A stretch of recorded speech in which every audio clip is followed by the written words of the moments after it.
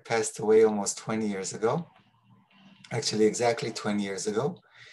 And I'm going to use both of their readings to look at the book of Genesis. But I want to say something about what I mean with a narrative and a hidden narrative.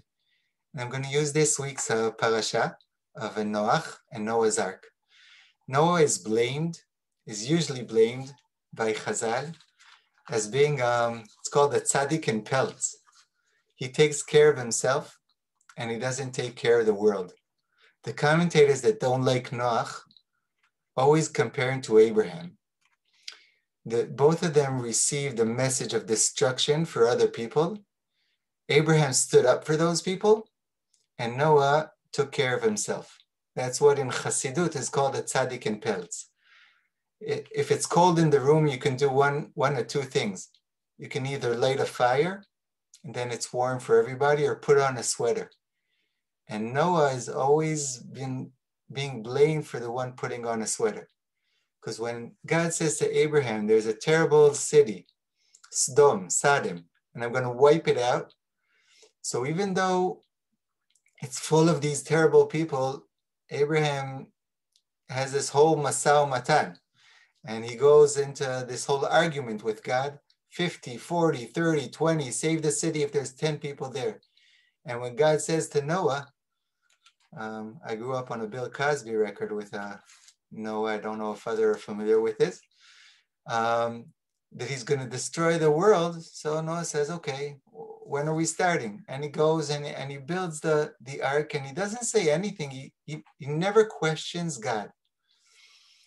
And if you want to go into a deeper reading of the book of Genesis, Noah was supposed to be Abraham because the Torah uses the same words Tzaddik, Tamim, Yireh Elohim. He's a righteous person and he's God fearing. He was supposed to be Abraham, but when he failed to be Abraham, he ends up like Lot, Abraham's um, nephew, who um, turns out he's um, the last scene with Lot is when he's drunk uh, because his daughters make him drunk because they want children after Sodom and Amorah. And Noach's final picture is very much like Lot. He's drunk in his tent, and something happens with his uh, younger son, with Ham. So Noach is usually blamed. I love Noach, and I don't like this interpretation. And for years, I was looking of a different way of reading Noach. And when I like to give an example of what I mean by text and subtext, or narrative and hidden narrative, so Rashi, um, maybe the most famous commentator of Tanakh, Rabbi Shlomo Yitzchaki, has a beautiful reading of Noach. I'm going to share the screen for a second for a source. It's not in your source sheets. And I'm going to read one verse from this week's portion. So um, can you see the screen that I shared? Yeah? Okay. So we're in um, verse 18. Noah is about to enter the ark. And it says, But I will establish my covenant with you. This is what God says to Noah. And you shall enter the ark with your sons, your wife, and your sons' wives. Now, if you look up Rashi later, I should have put this in the source sheet and I apologize. Rashi has a beautiful, subtle, very subtle interpretation. He reads and he's a very close listener, and the verse says, Ata uvanecha, you and your sons, ve'ishtecha, your wife, and your sons' wives. So Rashi says that God was very specific about saying the men should enter separately from the women. Rashi says this was a hint to Noah that while they're in the ark, they're not allowed to have sexual relations. And Rashi quotes a passage from the Talmud, from a tractate Taanit, saying that when there's um, famine in the world, you're not allowed. Um, you're not allowed to bear children. The reasons could be one of two reasons. One, that if there is not enough food for the mouths that we already have to feed, we're not going to bring more children into the world. The other is more like a moral um, standing. Like people are dying outside. It can't be that you're closed in your ark and, and there's nothing relating between you and what's going on. Now, this beautiful reading of Rashi carries out through the whole portion, through the whole parasha, because when Noah enters the ark, and I didn't bring all the verses, I'm going to stop sharing for a second. When Noah actually enters the ark, so it says, Vayavo Noah he came into the ark, he and his sons, and his wife, and his sons' wives. Now, what's beautiful is that's all Rashi says. He never says anything else in the parasha about that.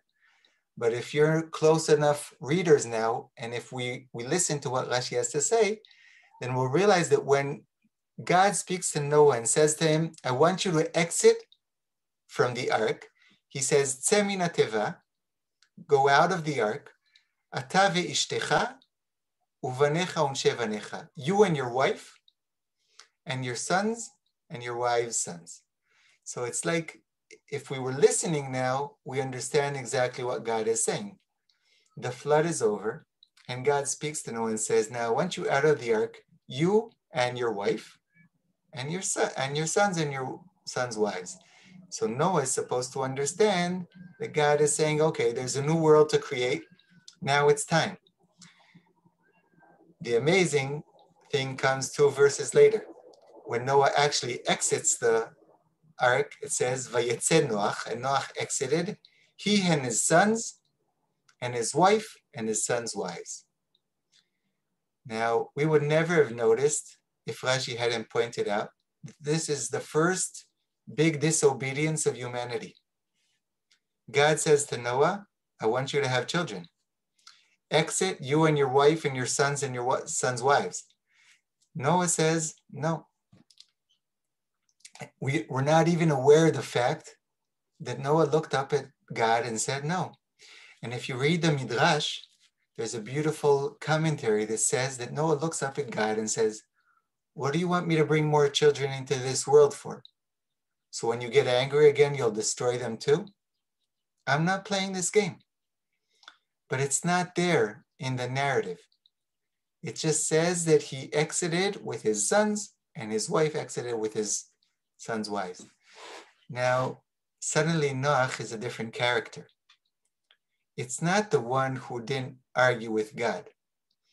He, um, it's like, is there a saying in English, um, still waters run deep, something like that? Yeah? Noach is maim shketim, he's still waters. He didn't get up there and scream at God and say, how can you do such a thing? And we don't have any heroic picture of Noah standing up and saying, What kind of God are you? He just quietly said, No, I'm not taking part in this game. And by the way, he was a much bigger success than Abraham was. The city of Sodom wasn't saved, but God was convinced by Noah's argument. And he says, Okay. And he brings out the rainbow and he says, You know what? I understand. Okay, we're not going to play that game anymore. I promise you, I'm never going to do this again. And the verse after that says that Noach has more children. So his argument was one. And I just want to bring this as an example of a narrative and a hidden narrative, because we could have missed out on Noah um, completely. What's nice about Rashi is he respects Noach. And because Noach isn't a kind of person that gets up and screams, Rashi didn't scream his, his argument either. Rashi was very, very quiet. And he said, I'll give you a hint here.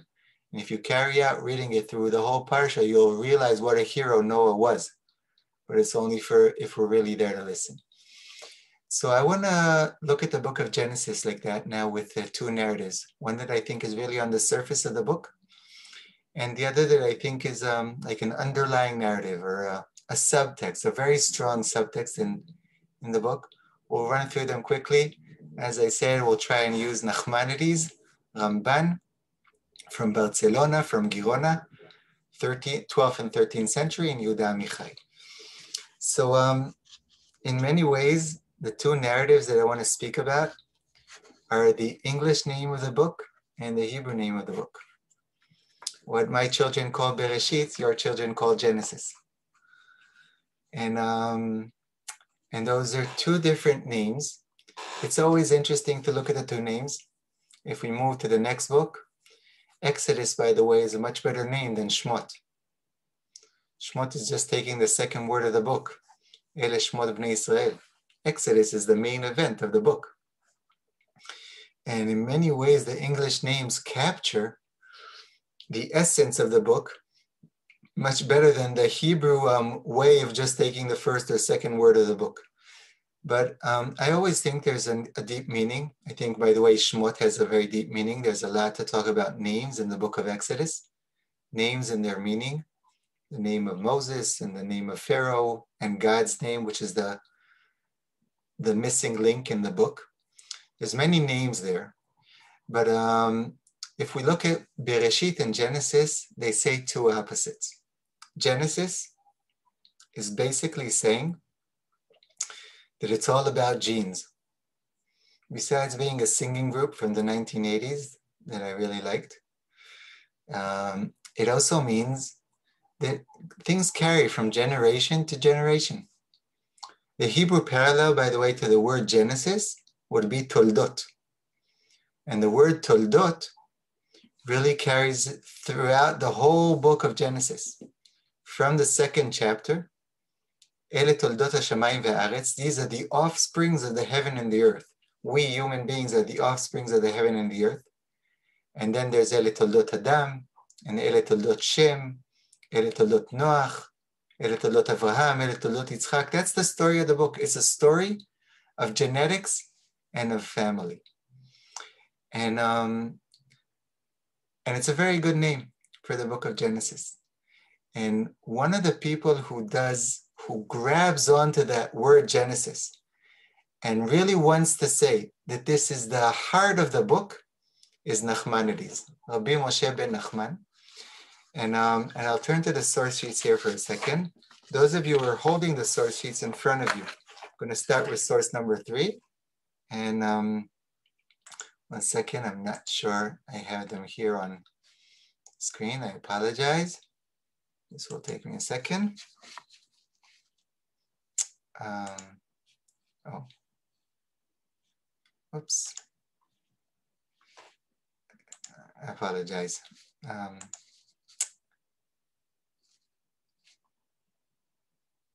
this is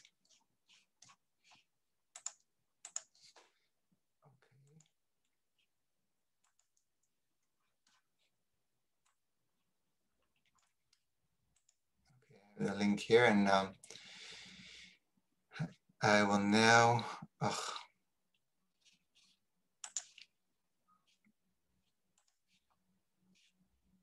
sorry, it's not letting me into the sources. Well, it is here, here it is. Okay, um, I'll try this now. I apologize. Can you see the sources now? Are we fine? Yeah? So, um, so we're here now in source number three. And I'm starting with Nachmanides. Nachmanides, and a very, very um, wide, broad interpreter. He writes on everything on Tanakh and on Talmud and on Kabbalah. And he has a very interesting life. And he comes to Jerusalem towards the end of his life. And um, in, in his interpretation of the book of Genesis, he writes the following I will tell you a general principle. Understand it in all the coming sections about Abraham, Abraham, Yitzchak, and Yaakov, and it is a great matter. Our rabbis mentioned it in a brief way and said, everything that occurred to our forefathers is a sign for the children. In Hebrew, the term is Maaseh Avot Siman Lebanim. Everything that happened to our parents will happen to us. And he says, if you want to understand the book of Genesis, and he'll basically say this later on on the whole Tanakh, if you want to understand the Tanakh, he'll even say it about our history. If you want to understand everything that's going to happen, you need to look at what happened to Avraham, Yitzchak, and Yaakov. And I'll give two or three examples. So he'll say, first of all, things carry from generation to generation. He'll take, um, for example, Isaac and Abraham and I'll say, look, everything that happened to Abraham happened to Isaac. He has a wife, she's beautiful. They go down to Egypt. The, the king of the enemy sees his wife, wants to marry her. Then he feels bad, then he sends him away. Then they both have two sons. One is a good son, the other is not a good son. He sends one son away and one son stays there. He says that's the book of Genesis. Everything carries on in the genes. He'll say it even more than that. He'll say, think of Abraham. Abraham, there was famine in the land of Israel. So this is in source number four. I'm not going to read through it because of the time, but you can read on later. He'll say, look, everything happens the same. There's famine in Israel. Abraham needs to go down to Egypt. He's um, treated terribly by the king of Egypt. Then God brings a lot of infliction on the king of Egypt and he sends him away with lots of cattle, silver, and gold. And then Nachmanides will say, Hey, does that sound familiar? Us going down to Egypt, the king treating us not nicely, God inflicting the king with punishment, and then him sending us away with all. So he'll say it's all maaseh avot siman lebanim. But he says even more than that. When, when he's looking at, um, he says, second temple was destroyed because we couldn't get along with each other, because brothers were fighting, and because of our, the brothers fighting, we went down to Egypt. He says, look, it's just like Yaakov and Yosef, uh, or Yosef and Judah, Judah and Joseph. The brothers are fighting. One needs to go down to Egypt. Then we all go into exile. The second, same thing happened 2,000 years later. Um, Nachmanides, in his introduction to the book of Genesis, basically reads Genesis as a DNA for all of Jewish history. I said he was a Kabbalist. He goes into Gematria and he counts letters and he'll say it's all there. Everything is there. And if we're close enough readers, we'll find we'll find everything. I'll show the source that I skipped. Number two, this is not Nachmanides, but this Midrash from Genesis Rabbah is exactly what he's trying to say. He says, in the words, the second verse of the Torah, that the earth was chaos. So he'll say that that little verse kind of condenses all of Jewish history for the next 3,000 years. Chaos is Babylon, and darkness is Greece, and the surface of the deep is what's going on in his time.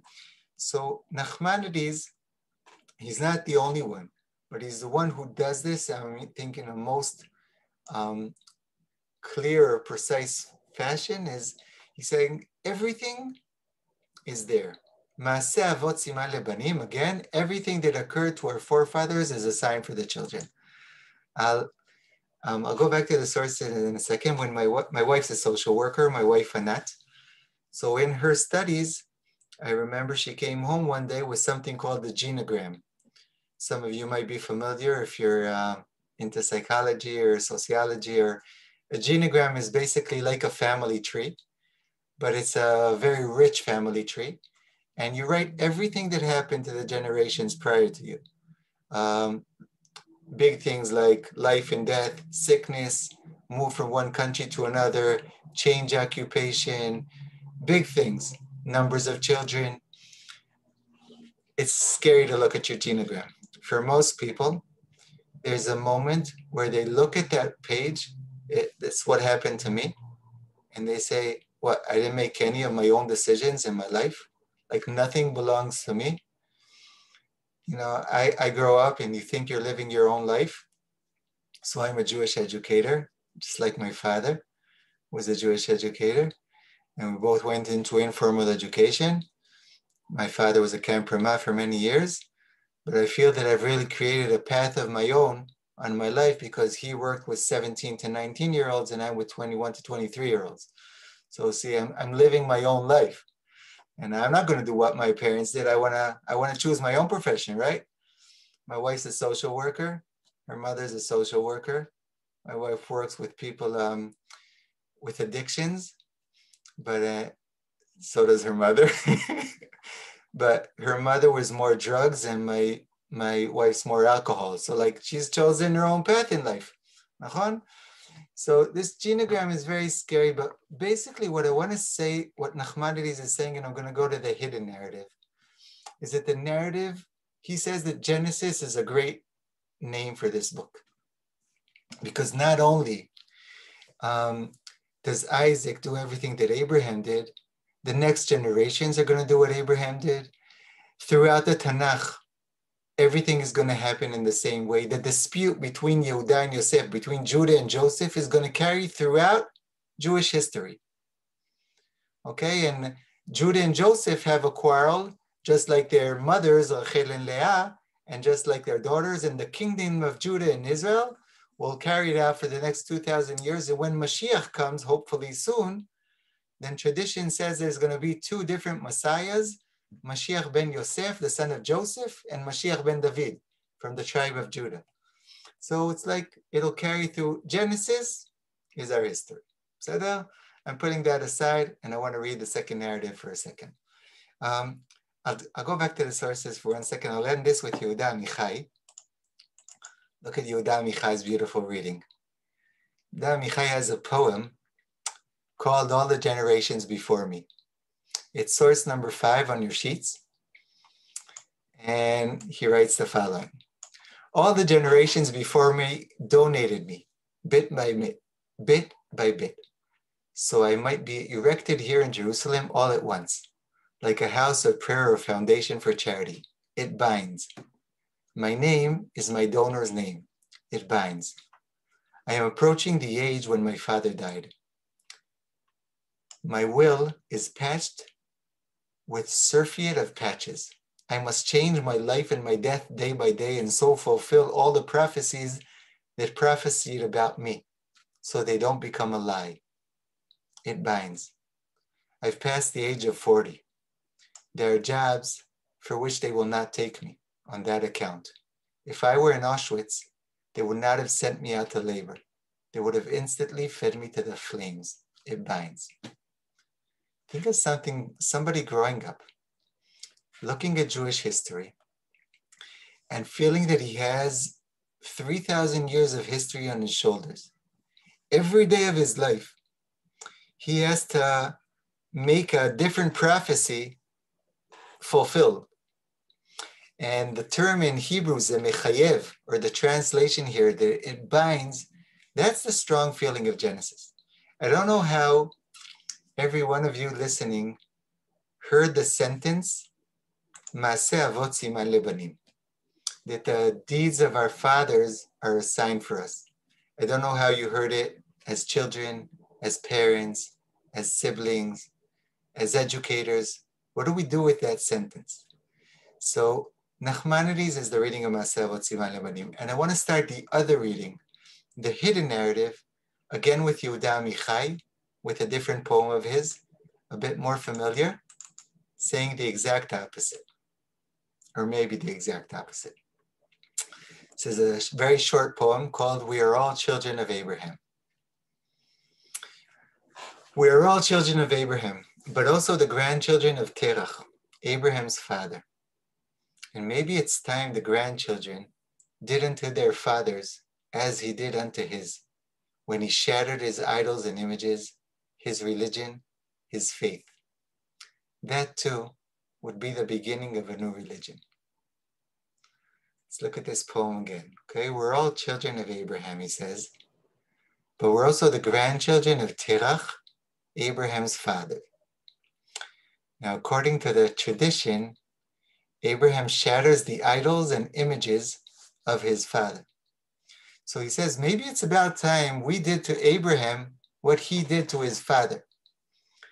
Now we're in a bit of a paradox here, or a quandary, or um, something that doesn't work. Because if we shatter Abraham's idols, we're being very traditional. We're doing exactly what our parents did. So it's like we can't escape being traditional. Either we're traditional, we do what Abraham did, and don't shatter anything, and then we're very traditional, or that we shatter his idols, but then we're doing exactly what Abraham did. He shattered his father's idols. But I think what Yehuda Amichai is pointing to, and here I'll, I'll say in short the hidden narrative, which I think is a very, very strong narrative in the book of Genesis. The hidden narrative starts with Abraham. Two words, Lech Lecha. Arise, go forth, Lech Lecha me'artzecha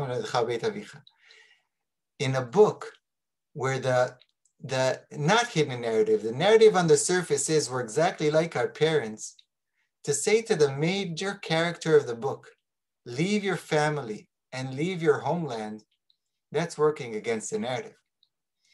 Lech Lecha is getting up and saying, No, I don't want anything to do with this.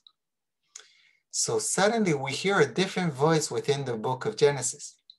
God's first command to humanity or to the human nation that he chose is I want you to work against nature.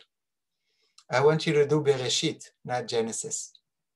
I want you to start from the beginning and not do anything the way that your parents did it. And by the way, if we walk through Genesis, we can dismantle slowly but surely every one of the things that Nachmanides said, because it seems like Isaac is exactly like Abraham, but it's totally not true. He's almost like him. He goes to a different country and his wife is beautiful, but he's not willing to tell stories about her. So the other king doesn't even take his wife and he has two kids, and one of them is a good one, and the other is uh, less good. But he doesn't throw one out of the house. He keeps them in the house, and he takes care of both of them. And everything that happens to Abraham happens to Isaac, but Isaac doesn't take another wife when his wife is barren. So it's the same circumstances, but he behaves differently.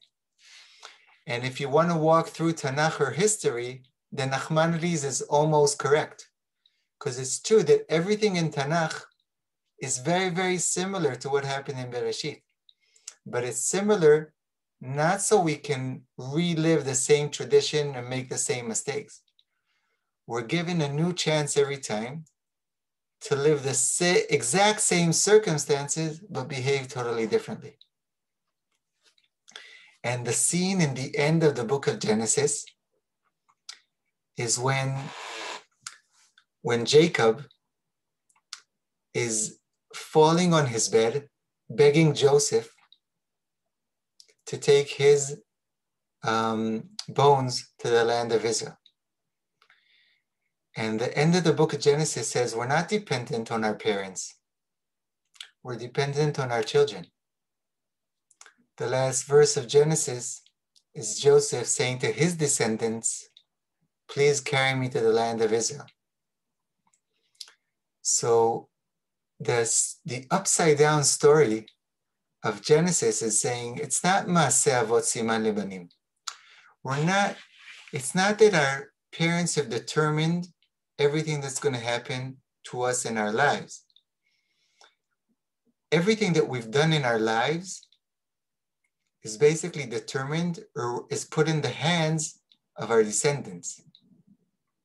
Ecclesiastes that we just read in Sukkot says this, and he's very upset about it. He says, no matter what you do, it's worthless because your kids are going to ruin it all. And um, and the book of Genesis says the same thing with a smile says it's not that whatever you do is worthless. It is whatever you do is not finished yet. There's still a chance. Something good can still come of this. There's always another generation that's going to be able to work with, with what we've done. Um, I'll pause in a second for questions. I just um, I'm telling something about genetics, and I, I, I told a story about my parents, so I have to say something about my kids. So uh, I have 17 year old twins, twin girls. And, um, and when I was a young Abba, they were about year and a half old. I remember I gave one of my first classes here in Bet Prat. And they were just starting to talk. These two little cute whatevers, schlunkies.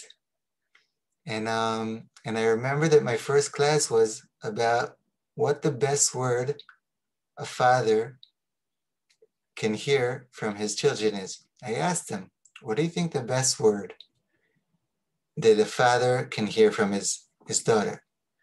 And people were guessing Abba, and it wasn't the answer. And they were guessing Toda, thank you, which I don't know, I haven't heard that yet. Maybe when they reach 30. um, and many, many different words. But the word that I spoke about was the word lo, the word no. I remember their first time. They were like a year and a half old. I don't remember what I asked them to do, but it was a uh, one of them. I remember her standing up, looking at me with this big smile with, with huge eyes and saying, Lo. And I remember that I burst out laughing. And um, later on, I thought, what was so special about that moment? And you have a child, 16 or 17 months old, never really did anything except what you told them to do. When you wanted them to sleep, you put them there. To eat, you put them there. And suddenly, in one word, she looks at you and she says, Abba, my name is Berry. I have a personality of my own. I know that's what you want me to do, but I want to do something different. And the amazing thing about the hidden narrative of the book of Genesis is if we go back through all the parents and children, we go back to the first parents and children, and we're the children of the of God. The Kadosh Baruch Hu. We also say no. In Gan Eden, we say no. He says, don't eat of the, from the tree. And we say, man, that looks like a nice tree. Maybe we should eat some of it. And I think that when they ate from the tree, God burst out laughing. Because suddenly humanity gets up and says, hey, we're going to be the ones that are telling your story. So the, the narrative of the book of Genesis is very traditional. We're just like our parents. And all of humanity is just like their parent. They're going to do exactly what their parents told them to do. But the hidden narrative, the one that says Lech Lecha, the one with the parents asking from their children to take care, is a totally different narrative. And I think it carries a very strong message, also personally and also theologically. That's a look at Genesis for a moment. And um, I'm going to pause for a second. I want to speak for a few minutes, maybe later on, at the times we're going through and of how I think of this parsha or the reading of the book with what's going on outside. But maybe we'll take a few um, comments or thoughts and or and if this is a good time. If not, I'll go on. Dani? Yeah. Uh, Wes, and I just want to say, first of all, thank you for a really brilliant analysis. I've been studying Genesis my whole life, and I never before saw that tension between Genesis. We are, you know, Ma'aseh Avot Siman Levanim, what do kids do, and then the counter narrative of Lech Lecha, uh, no, the importance of no. And your class that was really sparkling made me think of the first line of the book Far from the Tree, which is about parents and children. The first line is There is no such thing as reproduction, only production. There is no such thing as reproduction, only production. There is no such thing as reproduction. There is no such thing as Maaseh Avot Siman Levanim that only exists in Nachmanides' head. There's only production because no uh, lech lecha, I'm going to do it my way, is just an inevitable part of being human. So thank you uh, for that. It was just really quite, quite insightful and novel and wonderful. Let me throw it open to our, uh, to your 70 students here. And Amy, maybe you'll just call on folks uh, whose hands you see. Amy, just one second. Just thank you very much, Wes. And before I take questions, I just want to relate to a few things that you said. First of all, um, when I was thinking of a title for this book, I wasn't aware uh, for the class, I wasn't aware of your book, Far from the Tree. But in Hebrew, I wanted to say, Atapuach nofel rachok me'etz. The apple falls far from the tree. And I think that's very true. And when you were talking now, I thought that there, there could be a nicer or more subtle interpretation to Maaseh Avot Siman Lebanim. I think it's very true that our parents create a path for us. Maaseh Avot Siman Lebanim is very true that things that they've done are easier for us to do. So I don't want to put that sentence aside. I think it's very powerful, but I think it enables us to do things. It doesn't force us to do things. it's very true in, in opening the path, but not not in closing our, our options. Right. Right. So it's it, it creates influence, but there's no guarantee. It creates influence, but there's no guarantee. And as often as kids do what their parents want them to do, famously, kids don't do what their parents want them to do. they have to live with both of those. And that's an ongoing creative tension from the time of the Torah to now. So thank you. So you want to pick up, you want to, you want to uh, call on some people? Sure. I see a question from Lori Polachek. Lori? Hi. Can you can you hear me? We hear you. We see you. Okay, perfect. I can't see me for some reason, but so first of all, that was brilliant and really thank you so much. So I was thinking when you were speaking about this kind of um, the well, what, what Wes said and what you said that that there's no reproduction, only production. I was thinking, what is the parent's responsibility to pass on or expose kids to tradition. And I guess from my perspective, sometimes a corresponding guilt about what was not passed on and ought to have been passed on. I guess the mm-hmm. flip side of seeing your kids move into their lives as something that's wonderful and seeing your kids move into a life that's separate as something that's scary and maybe you did something wrong, you know, in, in that happening. So I was wondering your thoughts about it. Does that make sense? Yeah, it totally makes sense. I don't know if uh, how many answers I have. I'm struggling with six at the moment. um, I heard somebody speak. It was actually he was talking. Uh, he was giving a hesped, a eulogy for his father, and it was beautiful because he said, um, "Abba, you always said to me." He said, um, "Children will let, never listen to what their parents say." But they'll always see what they do. And um, and then he spoke for a few minutes about how he never listened to what his father said, but he was always very aware about what his father does.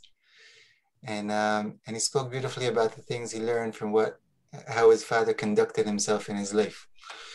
And I think um, the term in Hebrew, if I take it apart, Siman Lebanim, the word Siman is like a sign.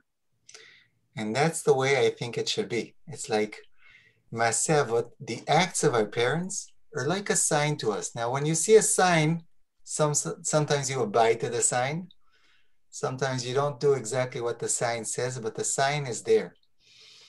And our ability to be there as a siman labanim, we're not deciding upon their lives. We can never push too hard. Um, but we're always there to put the sign up, to raise the sign. Here, Lebanim. So um, that's always my hope that uh, in the, words, the way we're conducting ourselves, that we're able to be that sign. Thank you. Mine too. Dani, just yeah. to follow up on your on the hesped and the eulogy. Um, you know, when I when I hear people talk about their parents, the big compliment they pay is that my my dead father, dead mother loved me unconditionally. They love me for who I am. Here's my question to you. Do you think the message of Judaism and the message of Genesis and Bereshit, when you put all together, is that parents should love their children unconditionally? Is there a mitzvah of unconditional parental love? Or is there a mitzvah of no, not unconditional parental love because that there's not enough standards built into that? So it's a great question. And I can say something, I'm not sure I'm saying it about unconditional love. But another story of Genesis, I think, is that our nation starts as a family. And one of the things about family is there's no choice. In Hebrew, there's a saying, lo bocharim. Like you're always there. We're always family. We can fight. That's why I'm not sure I want to use the term unconditional love but I want to say that we're unconditionally always there for each other. Because um, in family, there's many different feelings. It can be love and it can be anger and it can be misunderstandings and so many other things. But I want I want my kids to know that I'm always, always there. And um, and when I told my daughter the other night to come home by 1 a.m. and she didn't, I want her to know that when it's 2:30 and she needs to come home, she can call me and I'll pick her up because she needs to come home and I'm her Abba. We might fight about it. I might be angry later, but there's something about the sense of family. Um, we could talk about something else in Bereshit Yibum. I don't know the word in in English, the mitzvah of levirate marriage. Yeah, it's it's a very strange and it's always on the side, but I think it's very it's very it has a strong place in the book of Bereshit because it's about family. Always being there for family, never leaving somebody. So we could have told our, our story in many ways. And the fact that we chose to tell the story of our nation as starting with a family, so it's it's unconditional. I'm not sure about the word love, but the connections I think are unconditional. Yeah. Hmm. That's part of the family story in my eyes. Thank you, Dani. Amy, other questions from the crowd? I don't see any. Am I missing anybody who has a question? If I am, wave at your screen so I can see you or put it in the chat.